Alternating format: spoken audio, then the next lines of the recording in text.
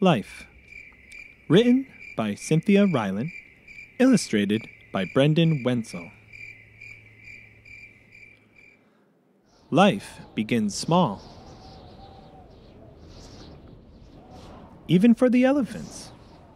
Then it grows. Beneath the sun and the moon. Life grows. Ask any animal on earth, what do you love about life? The hawk will say sky. The camel will say sand. The snake will say grass. The turtle may remain quiet. It has seen much in its hundred years. But the turtle loves life. How could it not, with so much rain on its back? Life is not always easy. There will probably be a stretch of wilderness now and then.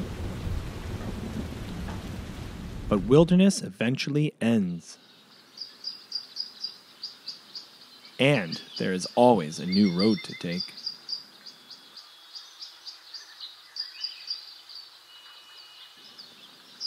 Remember this in every corner of the world, there is something to love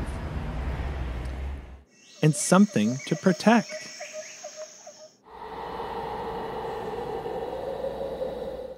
And if, one day, it seems nothing beautiful will ever come your way again, trust the rabbit in the field and the deer who crosses your path. Trust the wolf and the wild geese who find their way back home.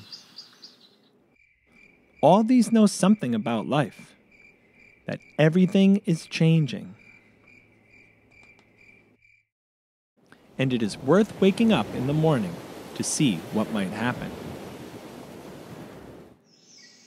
Because life begins small and grows.